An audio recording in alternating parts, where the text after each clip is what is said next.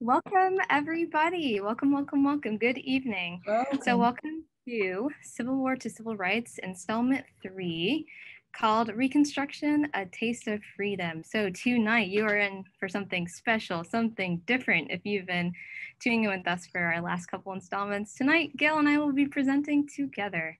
So, we're going to be talking all about Reconstruction um, and kind of doing a zoom in on what made it special in Lincolnville. How did Lincolnville kind of develop in this Lincolnville? Wow, how did Lincolnville develop in this Reconstruction time period? and um, just kind of explore and delve deeper. So, with that, I will get started right now. And let's get started with our presentation.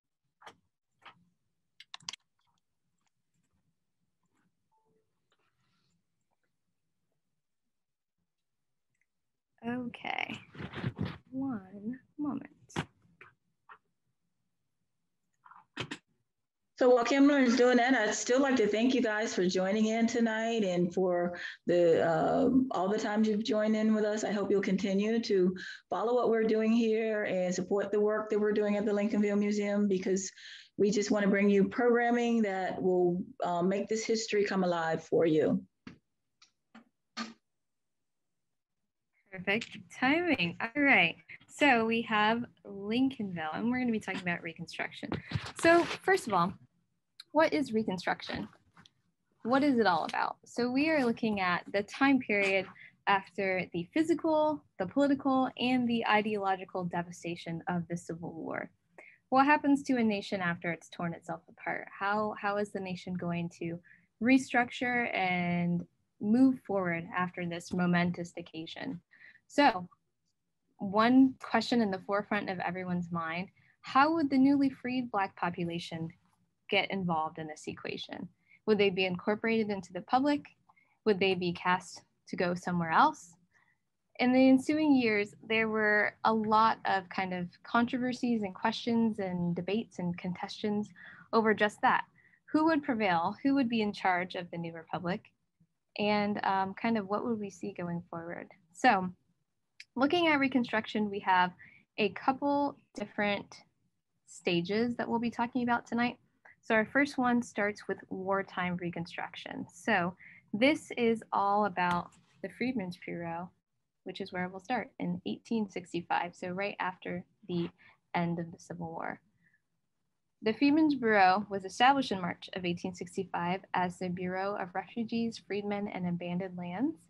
So, commonly known as the Freedmen's Bureau, it, this organization was tasked with kind of easing the freedmen into the social and political and economic life in the South.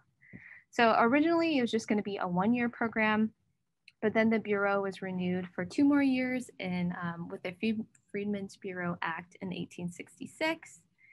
And um, Jennifer, Jennifer, I say that every time I said it in practice.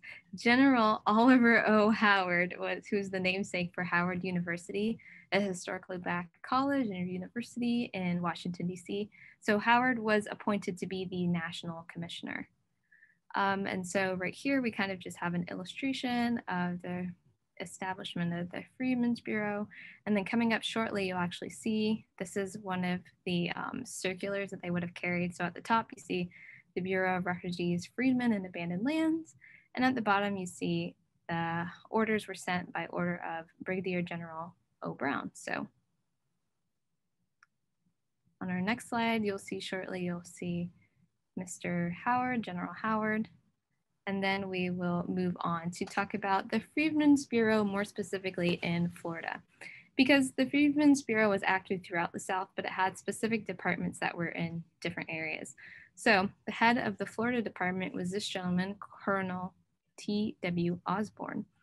And so Osborn would travel across the state. The Freedmen's Bureau in Florida was first established in Tallahassee in 1865. In May of 1867, the office moved to Jacksonville, and then it was even here in St. Augustine for the briefest amount of time between August and November of 1868. Um, according to the museum, the National Museum of African American History and Culture, the Bureau off offered rations to both freedmen and white refugees, which is why they added refugee to the name later on so they could serve white populations as well. Kind of refugees in general, people who were displaced during the war. Um, mm-hmm. It supervise labor contracts between planters and freedmen, which was like a very important kind of key role that they played. Administered justice, worked with benevolent societies and the establishment of schools, another really key role. And then assisted freedmen in locating land. And so something that's kind of an important distinction about the Freedmen's Bureau in Florida is that here in Florida, we had kind of the most amount of homesteads that were given to free, uh, newly freed Black people than any other public land state, which is kind of cool. So, so oh yeah, hey Gail, you're here.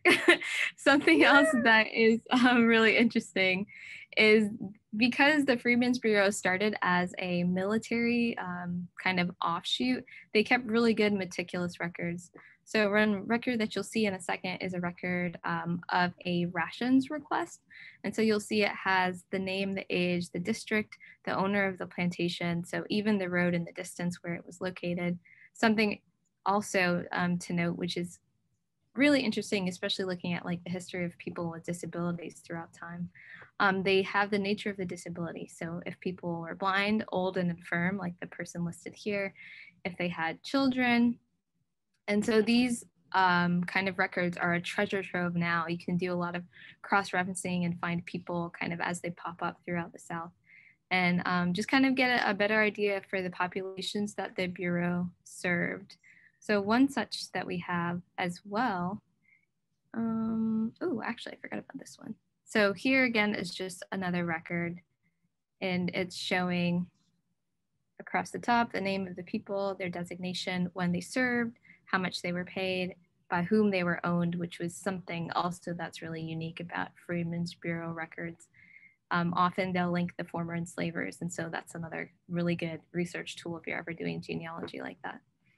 Um, coming up soon, we'll have the Freedmen's Bureau application of Mr. William Hewlin, who was a runaway, who enlisted in the Company B of the U.S. Colored Troops, um, the 1st Regiment South Carolina Volunteer Infantry.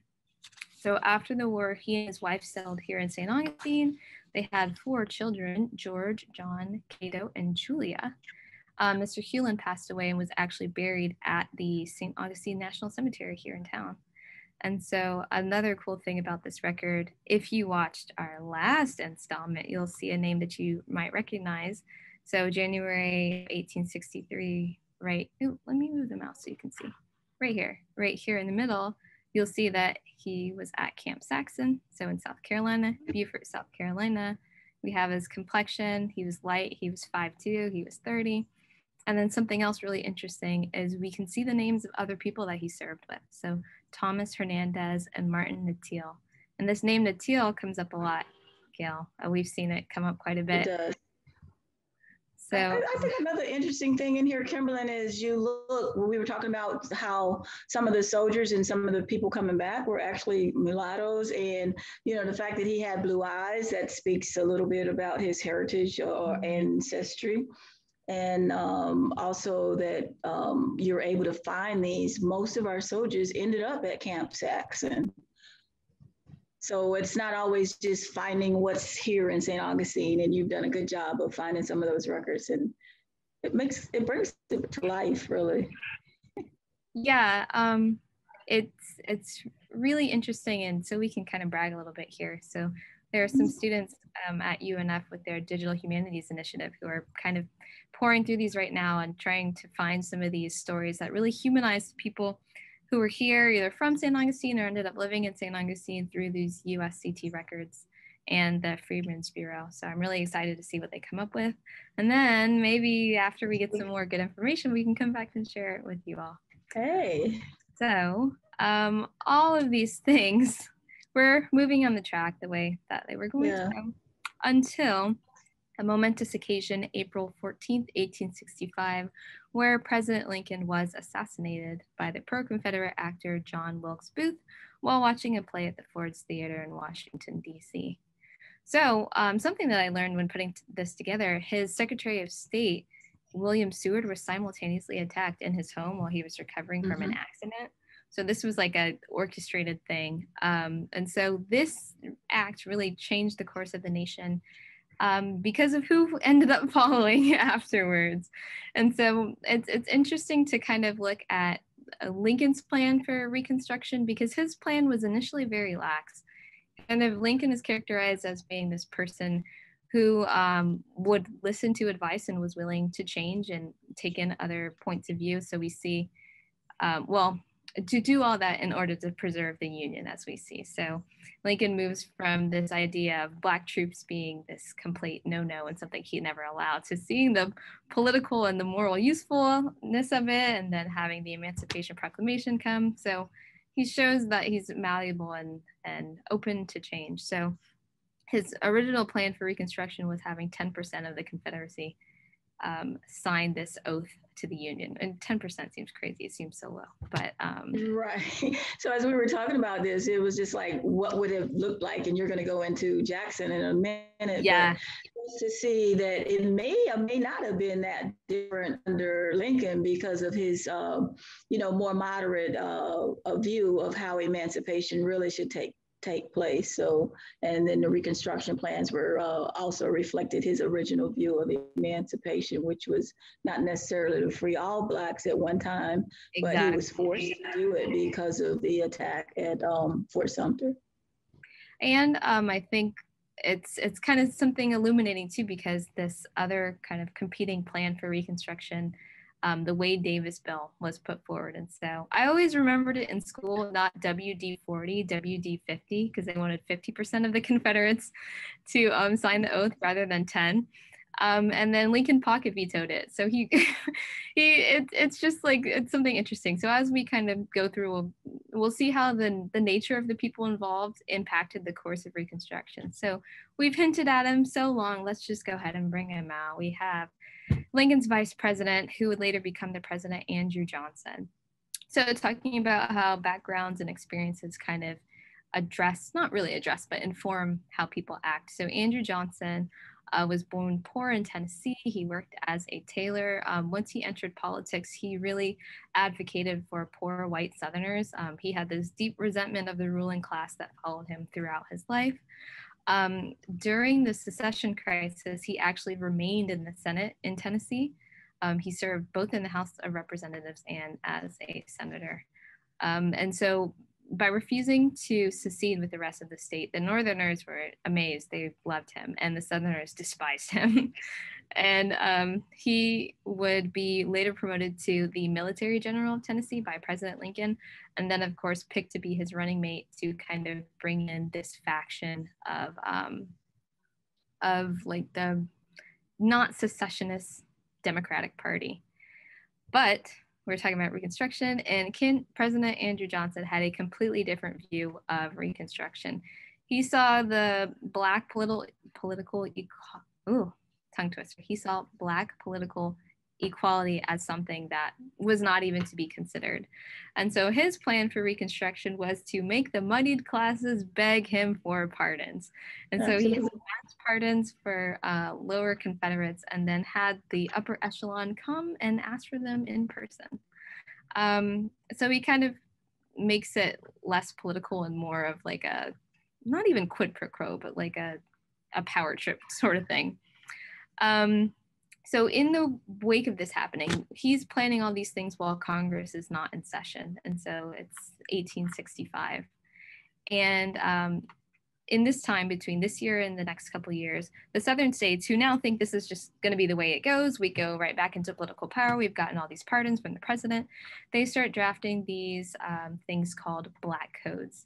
So, oh, before we leave, yeah, this is the pardon of the Grand uh, wizard, the first grand wizard of the KKK, Nathan Bedford Forrest, who also massacred tons of people during the war. Um, and so I might the- add, excuse me, before we go, you go to that, just a sidebar. Nathan Bedford Forrest. Uh, there's been a lot of controversy recently because of the school in Jacksonville that was named after him. And as we look back at his record, we know that he massacred hundreds of people. So that's uh, so yeah, Nice yeah. hand sign. You can see his name for the pardon of Nathan B. Forrest, N.B. Forrest. Washington, July 1868. So 1868 was a uh, pivotal year, 1868 and 1869.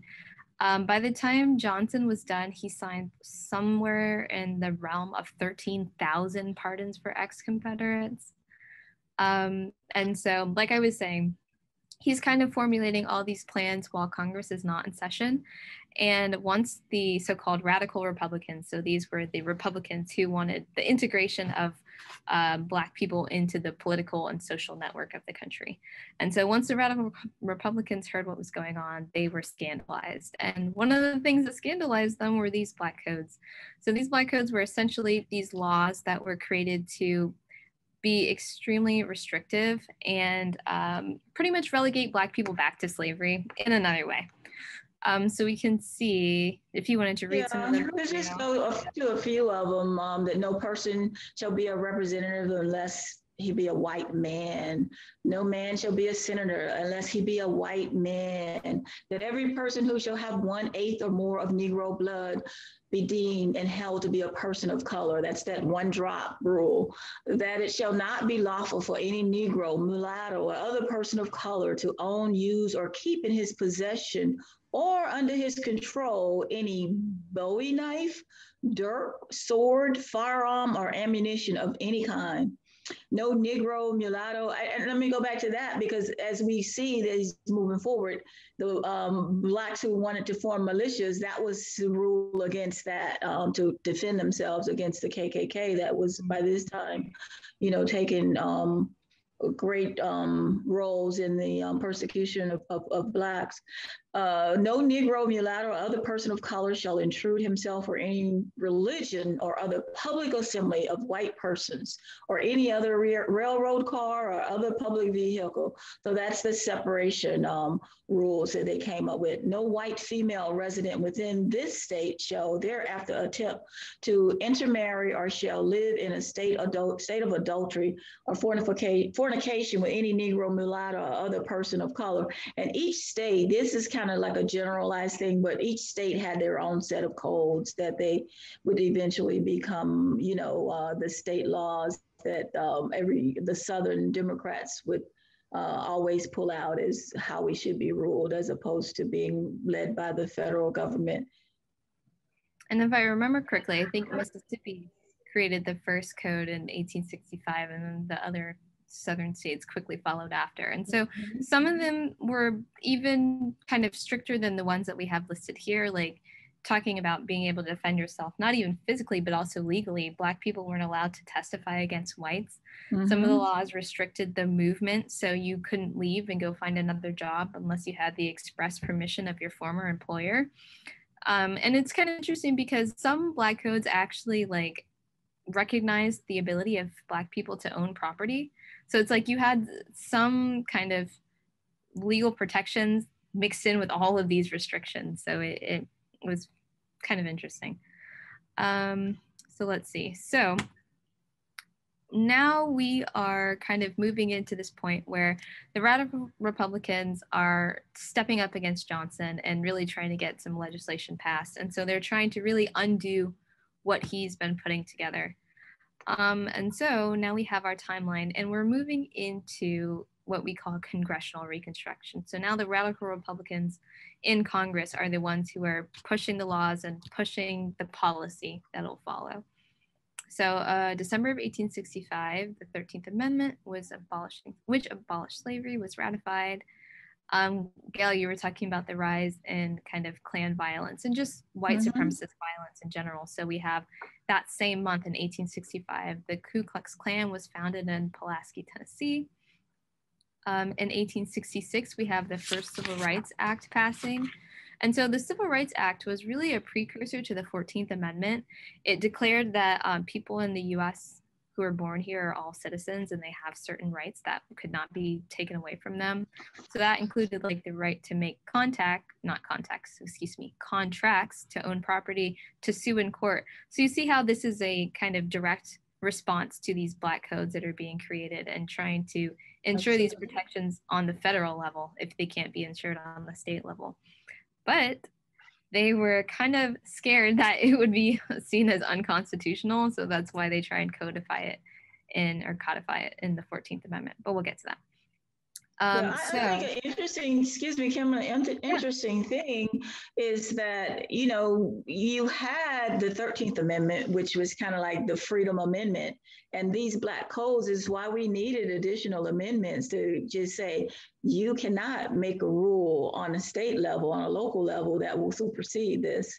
And mm. these black codes were their way of getting around the 13th Amendment. Exactly. Um, and so we have kind of this legal circumvention, and then we have the employment of violence. So the spring and summer of 1866, there is a massacre in Memphis and a massacre in New Orleans. So racialized violence against Black citizens there. Um, and so these two things happening also spurred Northerners to think that Black, Southerners, Black Southerners needed stronger protection, which also leads to the 14th Amendment. Um, in response to this as well, there's the Reconstruction Act of 1867. So this is really what outlines the terms where former Confederate states can re-enter the Union. It breaks the states down into military mm-hmm. districts. It makes them have to sign oaths to the uh, Republic or to the Union rather to get reinstated in. Um, oh, very important. It makes a um, qualification of statehood to be the ratification of the 14th and the 15th Amendment. So you tacitly have to agree that these are the things our state is going to uphold to even come back into the Union. Florida decides mm, that's amenable to us. So June 25th, 1868 of the next year, Florida is readmitted into the Union. And then the 14th Amendment is ratified the next month in 1868. All right. Anything to add? Uh, no, I, I mean, we are going to come into a little bit more what um, some of the people um, from the Florida uh, new constitution, and when they come back and form the new com- constitution, it comes a little bit later, but I think we yes. should move on. All right. So here we have kind of some of the responses to Johnson's behavior during this time period. So, two of the things that we talked about the Civil Rights Act of 1866 and the 1867 Reconstruction Act with the military districts, Johnson vetoed both of them. Um, and so Congress had to override his presidential veto that time and many other times. And so mm, Johnson was like quite obviously not on board with what was happening. And um, to the point where this, along with another kind of thing that spurred this whole thing ends with his impeachment. Uh, Congress said that Johnson had gone too far with his presidential powers, and he was acquitted only with a margin of one vote. So, the first impeachment process in American history. So I think another interesting sidebar yeah. is that in um, their last presidency, that um, Johnson was um, sort of viewed as sort of like a, a, hero or a mentor, and we see some of the same kind of actions in that administration that we saw in the Johnson administration.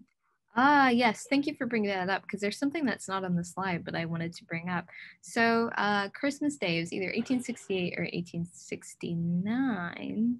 It had to be 1868 um, Johnson essentially issues a blanket pardon to all Confederates uh, that he didn't sign the 13,000 pardons for at that point. So um, that just kind of shows you what Johnson thought the political priority of the nation should be.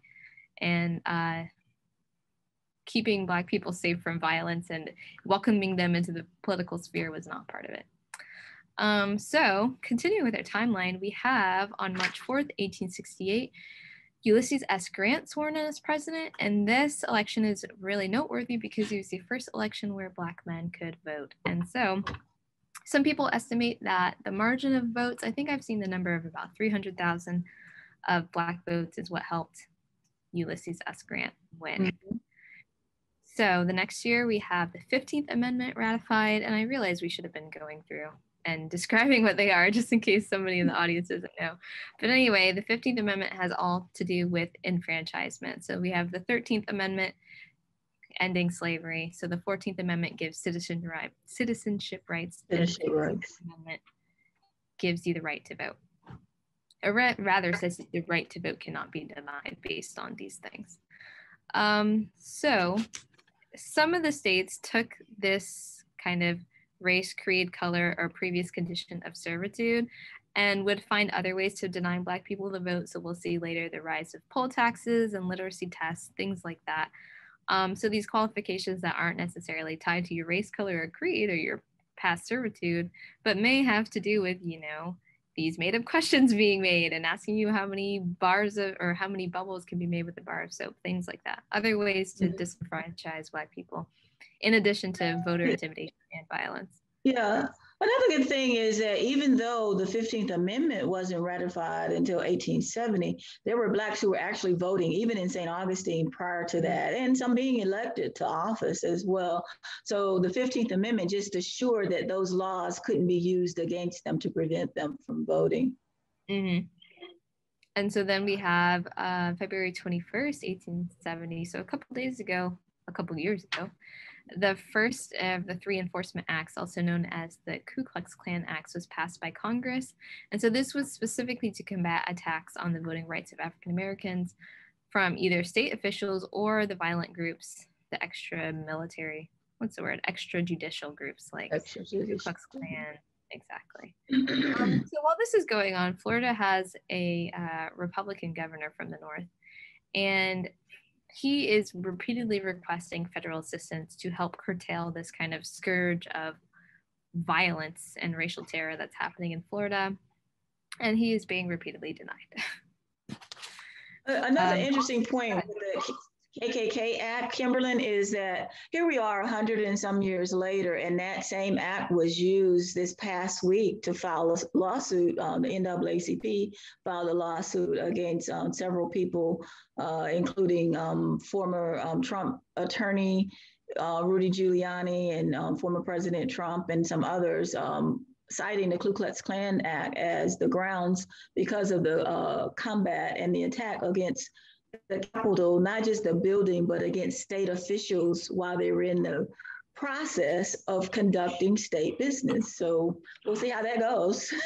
Yeah, I mean, this this last couple years is showing us what's what's past is never past, and it's barely, you know. There's a mm-hmm. Faulkner quote in there that I messed That's up. why history is important. That's why we love it.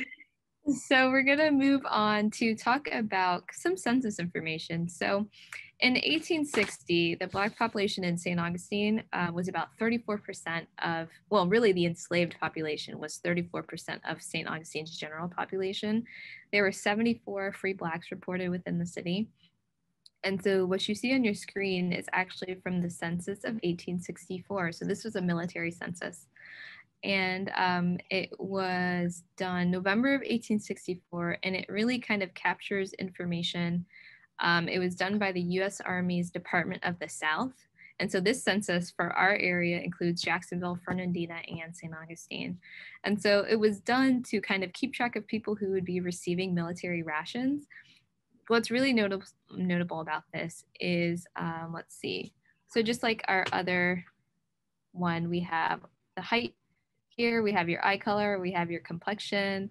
Um, in the fourth one, we have if you're listed as contraband or where you're from, if you were not previously enslaved, your last known place of residence. Um, and then in the next column, it refers to your former owner. So again, or enslaver rather.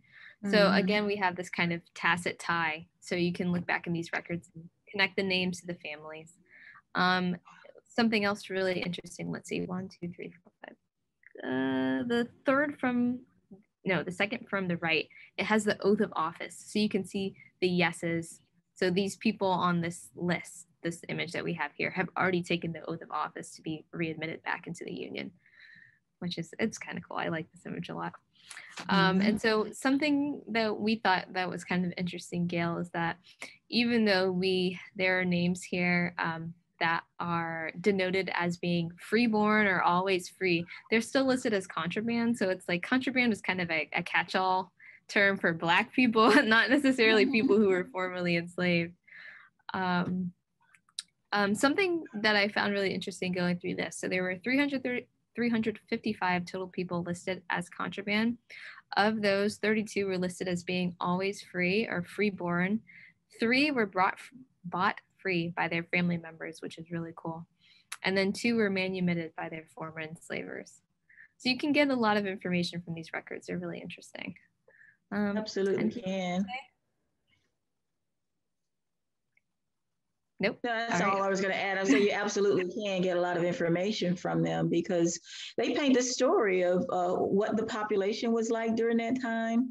And I think sometimes as we're going through it as, as Black women, it's, it's troubling to look at the language that was used mm-hmm. because it's it, in today's um, it would be offensive to us. Uh, but you know, we have to look at it from a historical perspective and put it into that light so that um, we're not uh, changing the history that's left here. We're just trying to shed light on what it was.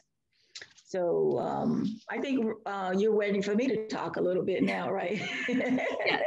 so, okay, so I'm going to talk a little bit about Reconstruction in St. Augustine uh, and in Lincolnville. And we say Lincolnville because we are the Lincolnville Museum and Cultural Center, and most of our history is about this um, district of, of St. Augustine. But not everyone that came back to St. Augustine uh, settled in Lincolnville, and I wanted to make that clear that they settled in other parts of the city, like Charlotte Street or St. George's Street, or went back to homes that they had before. Uh, so um, we know that St. Augustine, in, the St. Augustine Improvement Company, actually transformed former orange groves into uh, plots of land in the Lincolnville area that were later sold to um, uh, returning uh, USCT troops.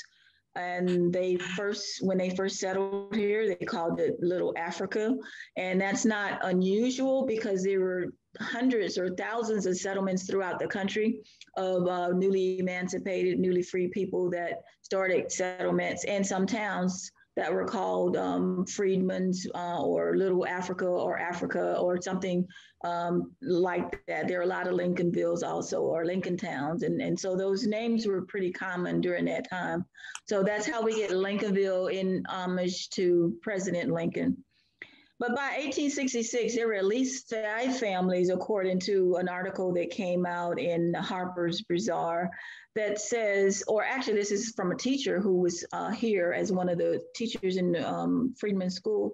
She said that there were at least five families who had already settled in Lincolnville by 1866, and that there were others who actually owned land.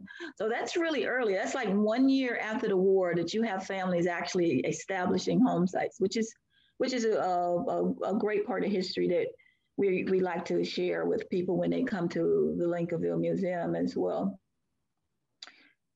These families, um, after the war, many of them, if they had homes, if they were free before the war, they may have had a place to go back to.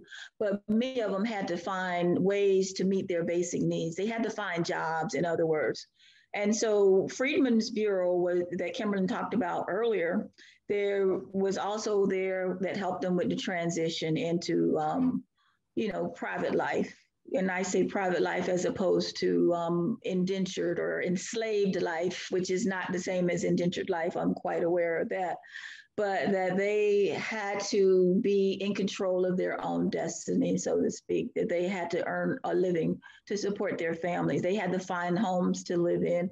They had to find um, all those things. So to help them with that transition, the Freedman, Freedmen's Bureau actually rationed clothing, they rationed food, and uh, they operated hospitals. They helped them with marital license because some of the people who have been enslaved were they had what we call slave marriages where their partners were sometimes even dictated by those um, um, slave holders that you're going to get with them and you're going to you know produce this um, offspring that i'm going to be able to take and use as, at will and some of those people were involuntary um, slave marriages um, that they maintained after emancipation but many of them, um, because those marriages were not recognized legally, they would have to be relicensed uh, or licensed. And yeah. the Freedmen's yeah. Bureau did a lot of that.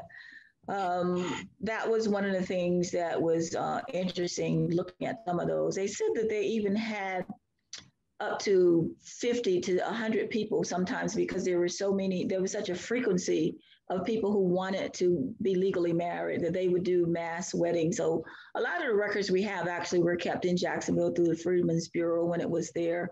And we'll see some, uh, we'll, we'll show you. I think we have copies of one of those a little later on that we'll show you, right? Okay, so um, That's for um, veterans assistance was also a part of it. And we have tons of records about that. And that's a part of what the students are going to be going through as well. And that was the, the Bureau was used to help them um, in filing their claims. Uh, for disability and pension benefits and back pay. And many of the records we have are their long-standing appeals for benefits that were questioned. There were questions about the validity of the marriages, if it was the woman requesting a pension for her husband. There was even questions about the paternity of their children and, you know, questions about their disability, which I found very, very disturbing. And so um, of the 68,178 men who died while serving in the Union, only 270, 2,700, a little over 2,700 actually died in combat. But most of what they died from were the diseases that they contracted, like malaria and tuberculosis and things that um, stayed with them longer. And those are things they were filing uh, complaints for. We have uh, one here, and I'm going to try to read a little bit of it. And this is um, a person, William Maddox, who appeared in uh, Duval County, which is where the medical examiner's office was. Um, uh, established. And uh, we know now that that was because that's where the Freedmen's Bureau was. And so when I say medical examiner's office, I don't mean the, the coroner, I mean the doctor that would have been examining them. And so um, he says that his had a disease of the lung. That's what they have written here. And that was a frequent complaint among them. But it was also one that was frequently denied. Um, not that easy to prove, but you know, people would talk about coughs that they had and how they had to spend long uh, nights on wet cold grounds while they were in the military. And so many of those were denied um, throughout the time uh, that we had um, people applying for them. So um, we had them, um, the veterans had to jump through a lot of hoops just, uh, you know, to get through the bureaucratic process they would crisscross from one office to the other, from one doctor's office to the other. And there's one case, um, we don't have a picture of it here, but where um, the soldiers would leave the city and go to another city and they would get a, a, a disability um, you know report that they had 75% disability. They'd come back to jacksonville and then they would still be denied that then the doctors there would say oh you only have 0% disability or 5% so it wasn't enough to qualify them to get um, disability pay. And the widows, they were um, also dragged into the process. Um, they had to provide proof of their marriages. And we just told you that they didn't always have that. So that was why that was a big thrust of the Freedmen's Bureau to be able to provide that. They had to prove parentage of their children. And that was before we had DNA tests to prove that. So can, you can imagine what that they they interviewed people in the neighborhood to say, "Oh, is this woman was she loyal to this soldier? Did, was that really his wife? Was she a loose woman?" And those kind of things that were really demeaning.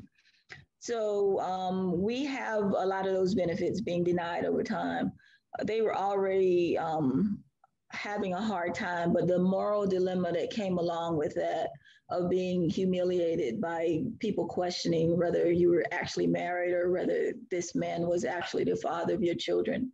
Yeah. I can only imagine what those feelings were like for those women back then when they were still trying to provide for their families. Exactly.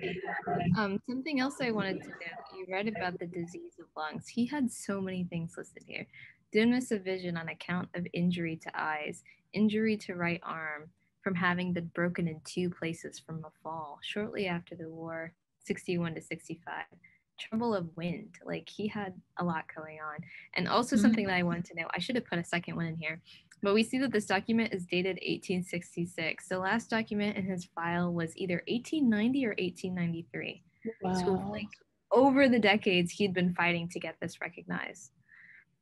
Was he still alive when they recognized it, or was it after the fact? That he had already passed on. It was still well. I'll have to go back and look because I believe yeah. it was still him. I don't remember seeing a widow's name, but he was 41 when this first one was filed, so we'll see about that. wow! So more to come on that, right? Yes. So we want to move on a little bit because I know we're running uh, short on time. So what we want to talk about now is what was it like starting in life? So here's a picture, and we we relied on this article that was quite an interesting article from the Saturday um, uh, uh, Harper's Weekly. Yes, thank you. I'm drawing a blank here, and it's right in front of me. But the, there, this woman had these two children, and and and she you know, it just depicts her and how she named them actually um, in honor of Lincoln. So I think one was, um, and Mike, you, we didn't put the name in there, but they were like like Lola and Leela Lincoln, you know, and I'm just making up that name because that's not their first name, but we we do have their names. But she was proud of the fact that Lincoln had emancipated the slaves enough that she gave her daughters his last name and um, she would have been typical of uh, people starting over under the conditions after the uh, slavery. And so um, many women, because they were widowed because of the war, they had to raise their children on their own. Another thing, people had to search for their family members, search for their loved ones. And Kimberly, I know you were talking about um, Dr. Williams, who was here last year, talking about her book um, that goes into a lot of these stories. She used a lot of newspaper articles to get um, uh, as research for her um, uh, work that um, where people were actually looking um, for people. And, and, this is not local, but it says my father, Phil Givens, left Owensburg, Kentucky 10 years ago for Missouri. Also, my sister, Biddy Givens, it is said that they lived in Jackson, Missouri. Any information about them will be gladly received by writing to me in Owensburg, uh, Kentucky, and that's from Jane Givens. So that was not uncommon for people to put ads in the newspapers looking for loved ones. Because when we think about the beginning of the war, where people left plantations following the um, Union soldiers, that they may have followed them to a, a Union camp somewhere, and, and, and over time they may have been separated at the end of the war. Uh, and so they are not sure if their loved ones are still alive or dead, and they are taking everything they know, every means that they can to try and find out where they were, where their whereabouts. Sorry about that. So let's move on a little bit, unless you want to add something to that. I just wanted to say the name of Dr. Williams' work was Help Me to Find My People. Really well done. She really talks about, like, you really just have to think, like, these families were separated for so long and just so desperate to find each other after emancipation by any means necessary, whether it's traveling themselves, trying to find information, asking desperately if people were going in that general direction to find word and write back. Like some people who even couldn't read or write themselves, but having to get these letters written out for them and relayed and hoping for any information. Like it really, it really tugs at your heart to think about it. It does. So remind me to tell you a story. It's not really uh, relative to this, but it is somewhat uh, later about a relative in my family who disappeared and was found in 1988. That descendants showed up at a family reunion in Miami. So oh, um, that's uh, over a hundred years that people were just separated, and we didn't know. We thought that they were like long gone, but um, they sh- their descendants showed up and introduced themselves. Oh, we're the descendants of this um, family member, and we were all shocked that we all embraced them, and we are just happy that they have been found. So uh, we will move along. So one of the ways that people, we're going to talk about all the ways people found a way to make a living. And, and in St. Augustine, as we said, there wasn't as big of a deal of sharecropping because sharecropping requires large plots of land that's being farmed for people to lease out and, and, and farm. And we know that that did happen in parts of the county, but in terms of St. Augustine itself, we didn't have a lot of that. The uh, orange groves that were one of the big cash crops in St. Augustine was divided up. I um, would also say that another orange grove that was here that had been operated also by the Buckingham um, Smith family um, with a man whose name was Sitiki. We'll, you'll see more about him as we go forward too. That he was given the right in 1871 to be able to use whatever proceeds from the sale of those fruits for himself for the duration of his life. And so um, that was one of the other things. But one of the, some of the other um, professions that people listed were that they um, worked in citrus groves and indigo, cotton, that um, corn, potatoes, and pulp plantations. Um, there are also some other jobs that they listed. Some started small businesses as barbers. They were delivery men, hack drivers, as you see here. And it's an interesting hack driver who's actually riding an oxen uh, with a cart. Uh, there were also um, people who said that they were waiters that they were um, in the boat building business and all those things that became a part of the St. Augustine um, as part of the um, landscape.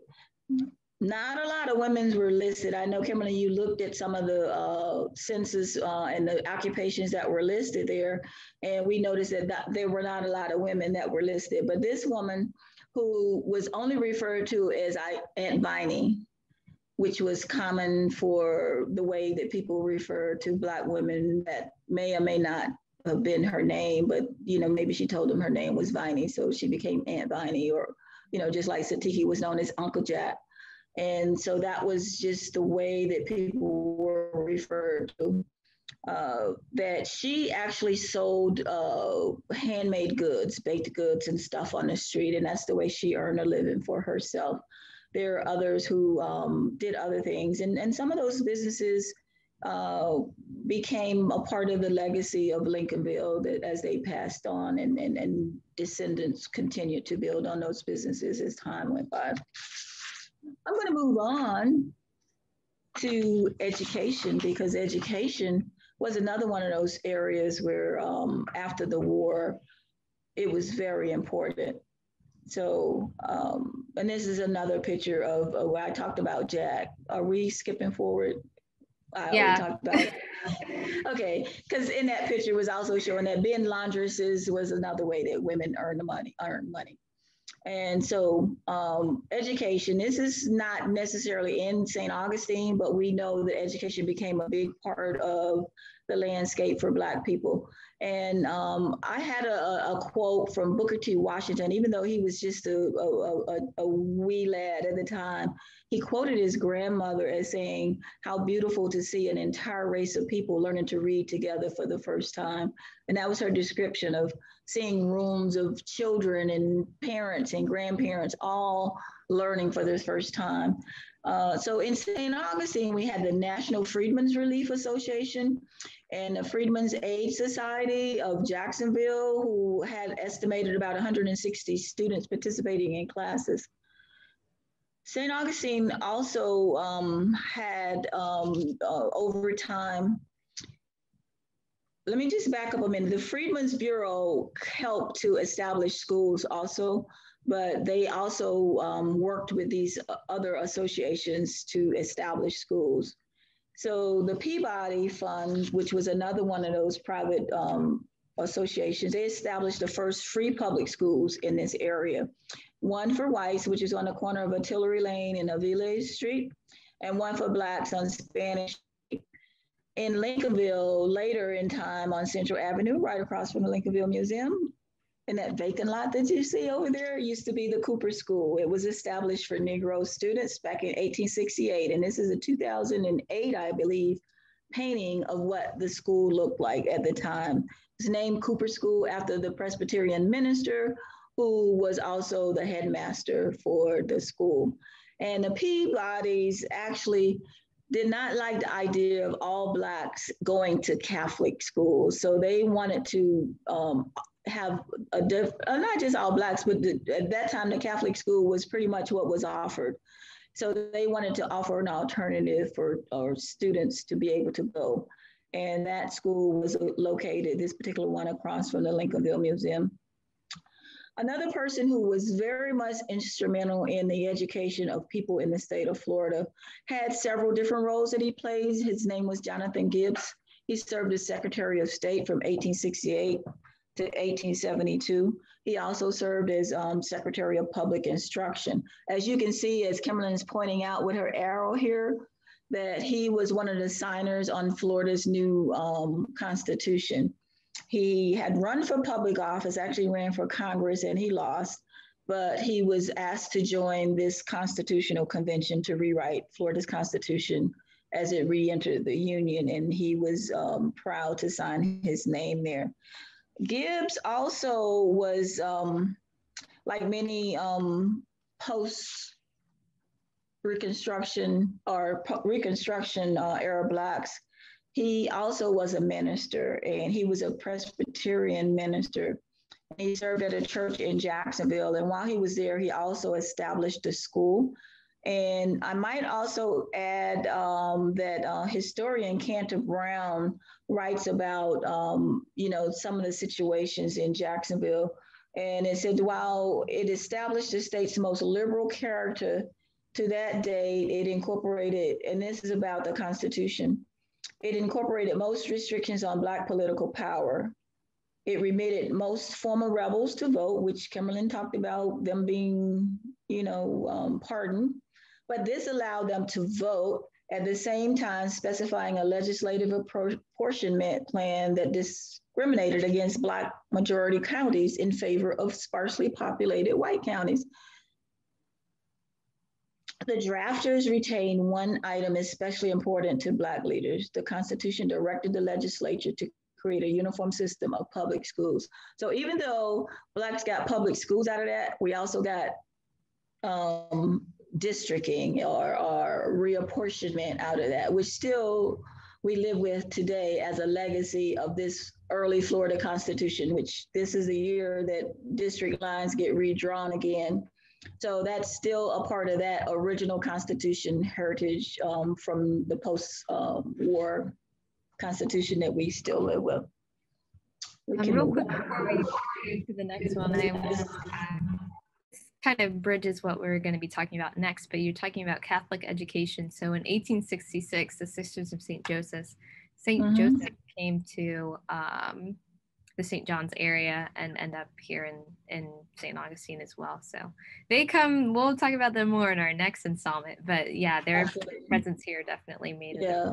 And they're already here when Peabody comes, and that's why his impact is like I want to offer an alternative to mm-hmm. to that, and and we plan to do a lot more of that when we talk about um, especially going into because it's a long transition. They are there for almost 100 years that school doesn't close until 1968. Mm-hmm. But we'll talk about the nuns and we'll talk about the Jim Crow laws that affected the school and all of that in our next segment.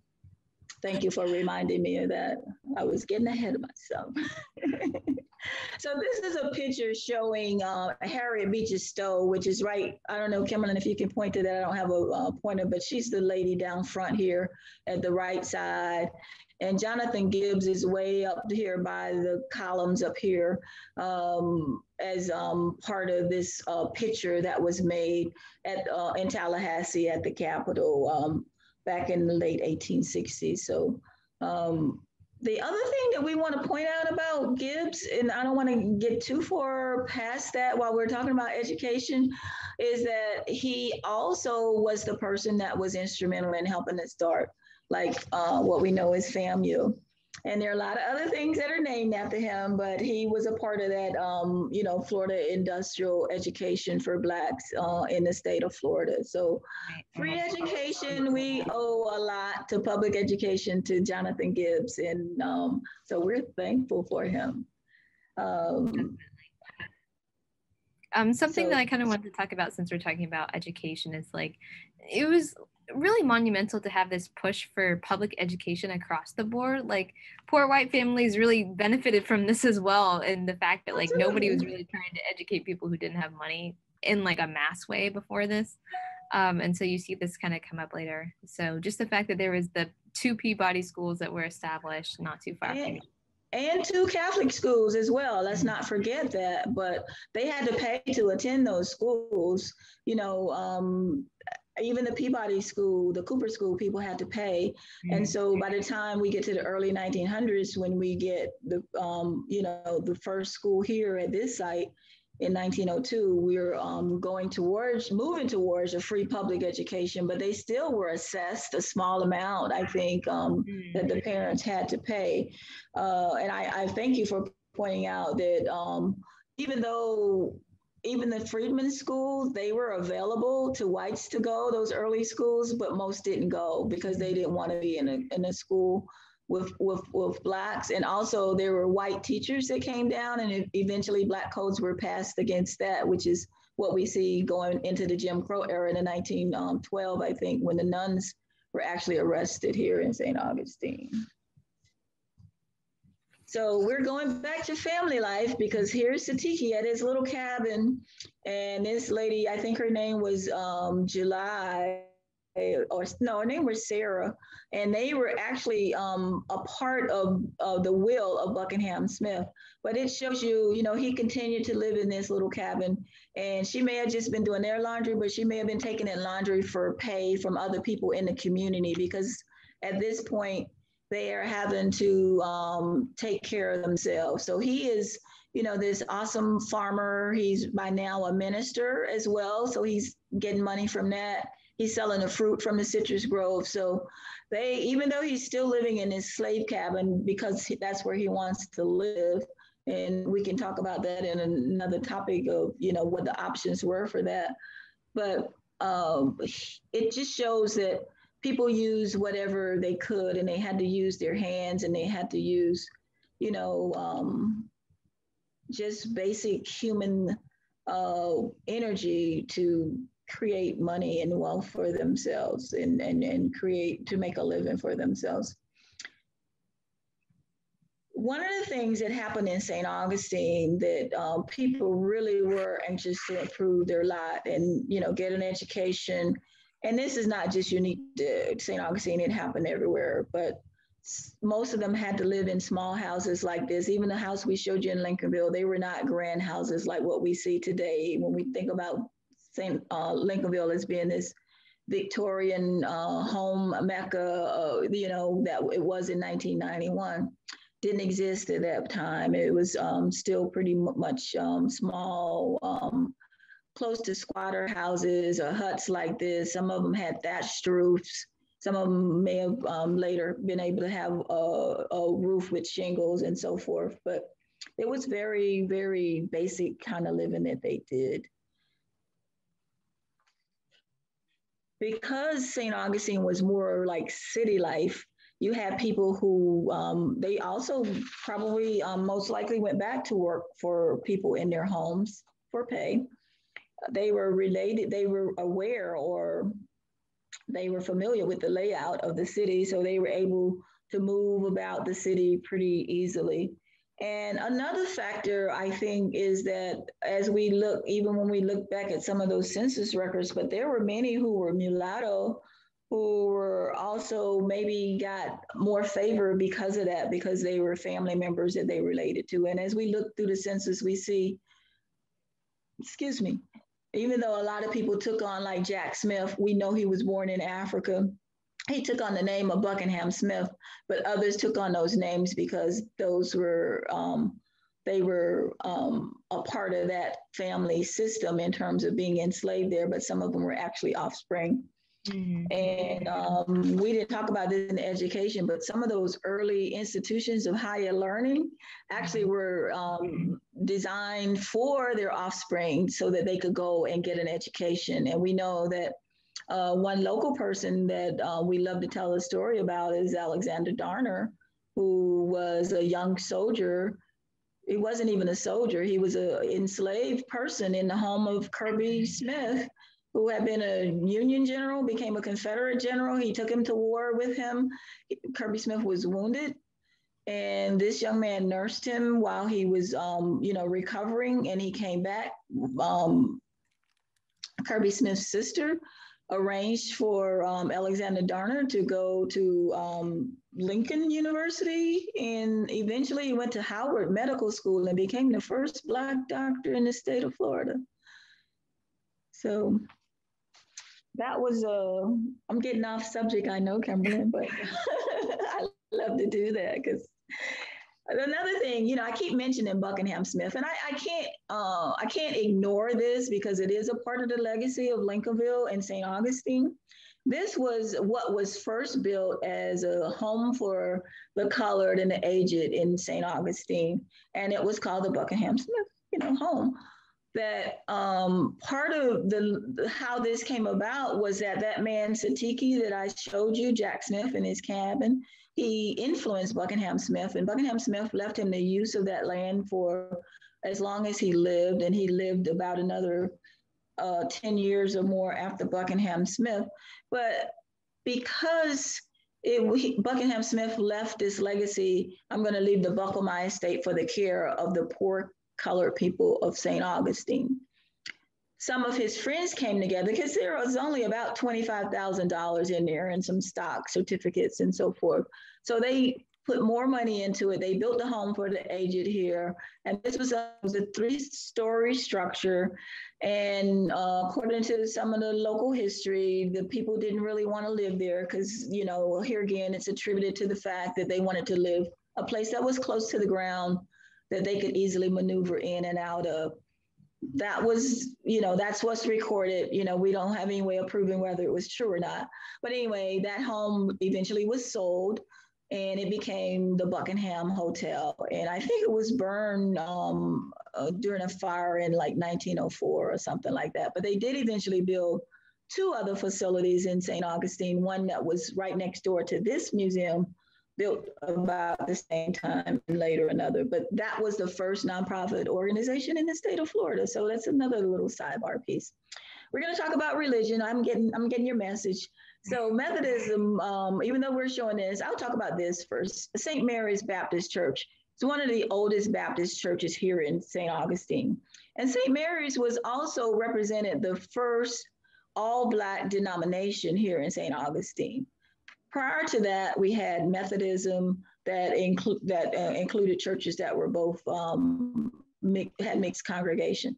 So we can see that this church was actually organized in 1875 the building still exists today, um, the, the new St. Mary's, which was built in 1920s. It became a part of the civil rights movement in the 1960s. And some of these names that are on here are some of those same early family names that we know, like Sanks and the Weldon, uh, Keltons, the Jelks. We keep seeing these names over and over again. So um, as we continue to dig through these records, I'm sure we'll be able to bring you more stories about some of these individuals as well.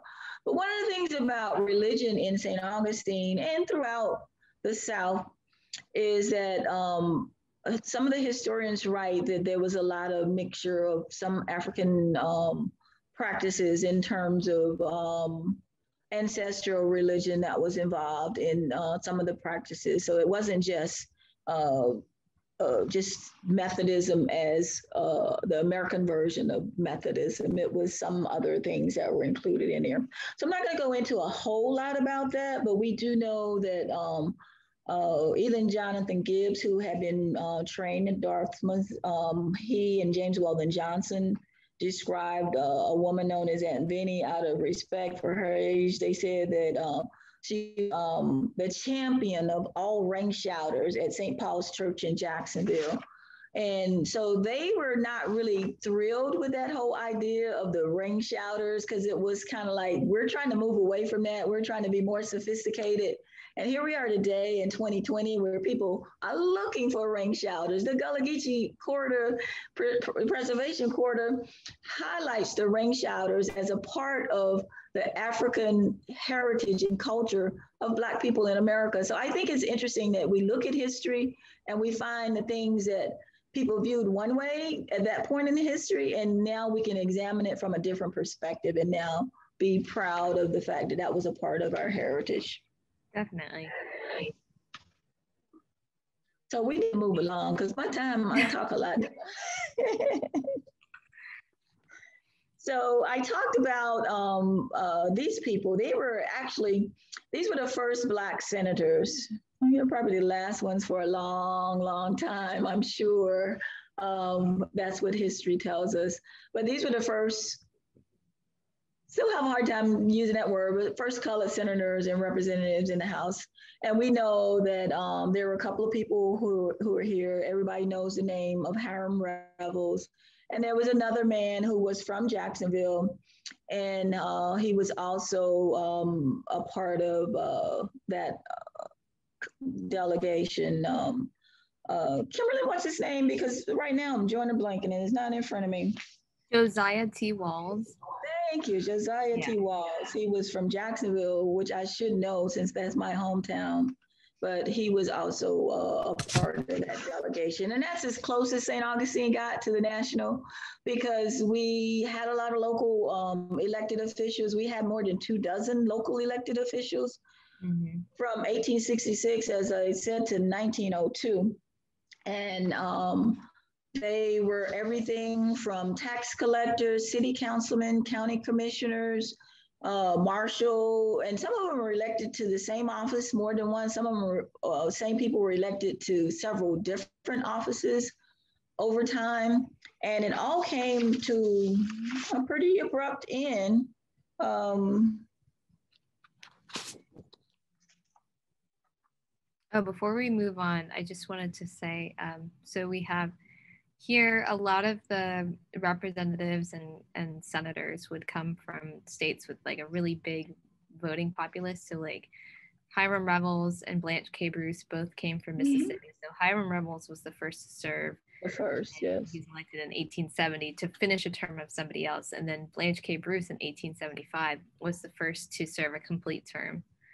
Um, and so then we have our local guy, uh, Josiah T. Walls in the middle. Um, but just looking at these kind of Reconstruction era senators, I think, if I remember correctly, the next black senator was until 1867, so almost 100 years later with Edward, mm-hmm. Edward Brooke from Massachusetts, I want to say. Right, right. Um, yeah. So it, it's still like a notable thing to have Absolutely. I think there was one black representative from Chicago, but he was in the House, he's not in the Senate. And um, I think they said that he was the first uh, Northern uh, Northern Democrat to be elected to um, the House of Representatives because the Southerners were all Democrats. So for him to be, I think he's from Illinois, from the state of Illinois. Mm. So, um, what really happened? Um, we have um, that brings uh, national reconstruction to an end is the removal of federal troops. And how did that happen? We talked a lot about that last week. And for anybody that missed that, I'm just give you a quick recap that the election of 1877, there was a compromise made, which would make um, Rutherford B. Hayes the Republican president if the Union troops were withdrawn from those areas, mainly Florida, Louisiana, and South Carolina. So um, that happened pretty quickly. The, the troops were pulled out. The, um, it signaled the removal of any safeguard in the former Confederate states against white supremacy and rule terror as a way of life. The elections, for the most part, became a white male privilege once again, St. Augustine was an outlier because we did have Blacks who were continually elected until 1902, which I, I talked about. And um, so the presence in, of soldiers in St. Augustine in the military actually kept a lot of um, local requests to um, install a Confederate monument in the city square. Away, the, the, the uh, ruins of this monument that you see here became the base for the Confederate monument that was just removed this past um, summer. And it was on the grounds of the Catholic Church.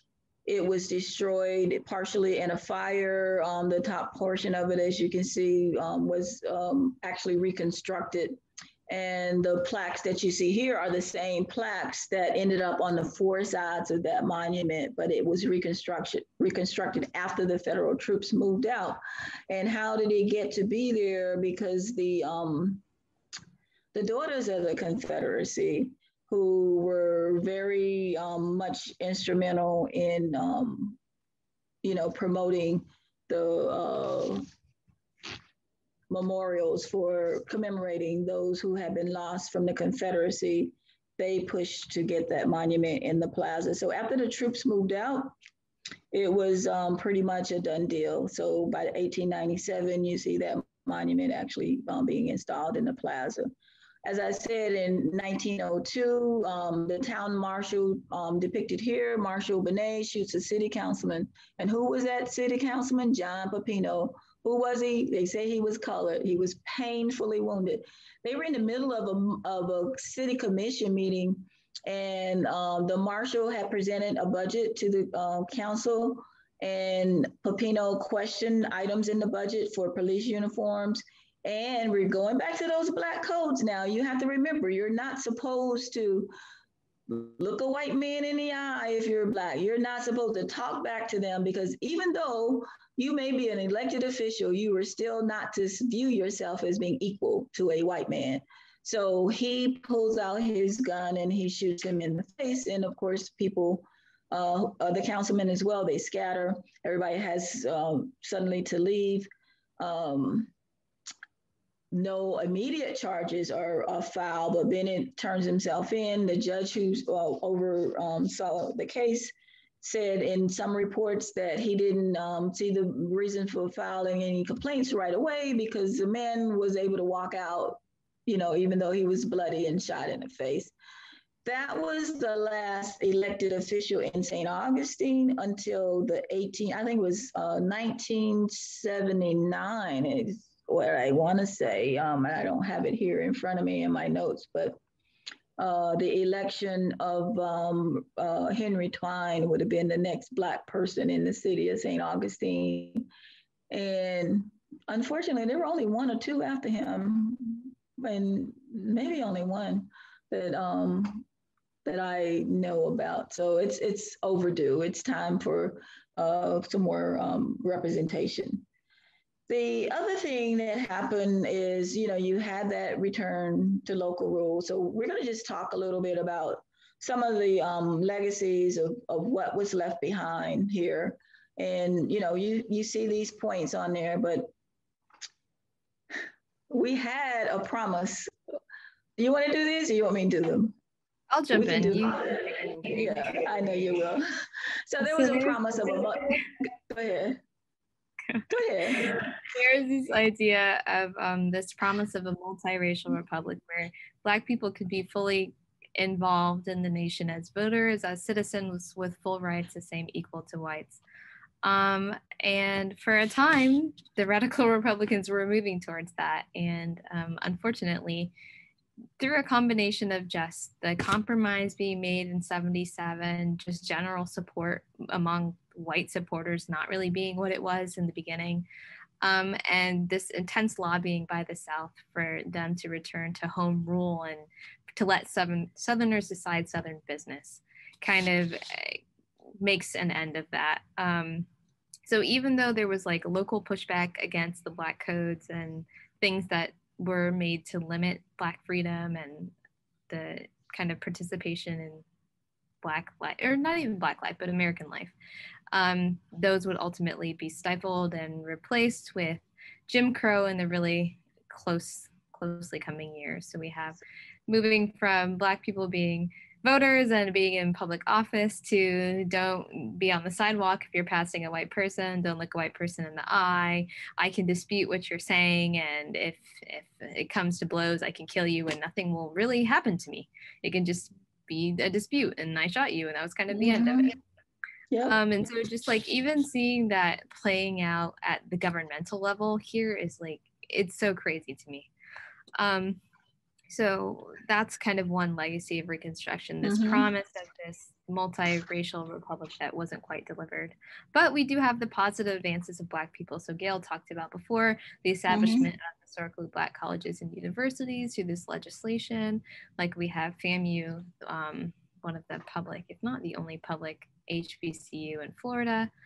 Um, we also just have general, oh, you were going to talk about Downer here. That's where it was going to come up. But we have the general advancements of being in the voting populace, of being able to negotiate pay once you had the support sometimes of the Freedmen's Bureau. Just being able to move freely and not being a, a person who's being kind of enslaved and just exploited for your labor um, just having the freedom to also you know labor unions uh, for blacks came into play during this time as well so mm-hmm. that was another uh, legacy of reconstruction that they were able to um, you know join labor unions and negotiate as you said for pay but then in the years immediately after Reconstruction, we have this idea of this white supremacist reconciliation that sweeps the nation. So it's not just a Southern thing, it's Northern boredom with kind of the issue of com- repeatedly pressing for Black rights. People felt like enough had been done um, and they kind of didn't have to do anymore. And so this kind of reconciliation narrative was spread across the nation. And so historian David Blight talks about this in his book, Race and Reunion. Highly recommend it, great read. But he just talks about how racial justice and kind of this possibility, like we said, of the multiracial republic was cast aside for um, the sake of uniting the nation for white people. And it was just kind of this idea of, you know, like, the the war wasn't really about slavery. It was it was so long ago, 20 years ago. I don't even remember. Why were we even fighting, brother? Why were we even fighting? Let's all come together and not really worry about what's going on. We'll Absolutely. let you all return to south uh, to um, self rule and just kind of let the nation go back to normalcy. Unfortunately, that normalcy included the resubjugation of Black people into sharecropping, developing into the Jim Crow laws that we'll talk about next time. So, because this idea of this inequality and everything springing from slavery that was never truly rectified and looked at and um, dealt with at the end of the war, and instead we just went for this kind of re- not revisionist, but this reconciliist attitude. Uh, white supremacy was able to prevail and continue and fester and grow. Um, so this directly feeds into this idea of the lost cause myth. So kind of this the lost cause is the idea that the South's plight during the Civil War was one that was noble. And so the white Southerners were fighting this noble, tragic cause against these corrupt Northern Republicans and these illiterate Black people who didn't know what they were doing.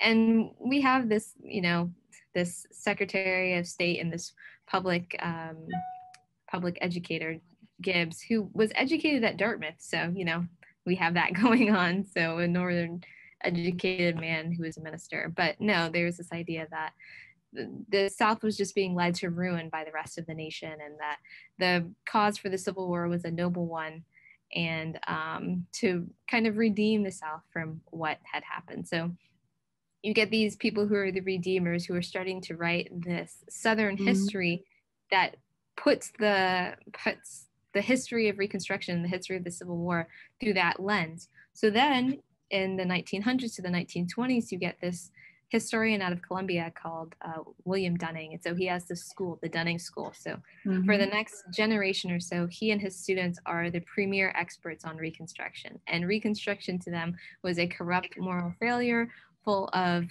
embezzling no- Northern Republicans who were the carpetbaggers who rushed South to kind of exploit the South, and the scallywags who were the local mm. uh, white Southerners who went along with it, and then the Black people who've never they're oh what did he say? He were like he said they were just out of Barbary who are now running everything. So this and was the, the interesting thing is there were only a handful of blacks that were actually even in Congress, you know, so it wasn't like they were ever in control of yeah. any state legislature or anything. So that's what you know makes it so preposterous that it, you know, people believe that or that people believe what they wanted to believe, I think. And that's why we call it a lost cause because it's like, even though there was this big fight where people fought for freedom for themselves and for others, that they were belittled by all these people. And then for um, scholars to, to, to, to turn it into uh, this big myth that we were, we, that's the way I learned it growing up. It's, it's like there were no